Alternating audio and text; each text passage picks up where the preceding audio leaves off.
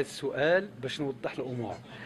آه، إحنا كنقول لكم بأنه كنجاوبوا على سؤال مطروح من طرف صاحب الجلالة كيقول النموذج ديال التنموي.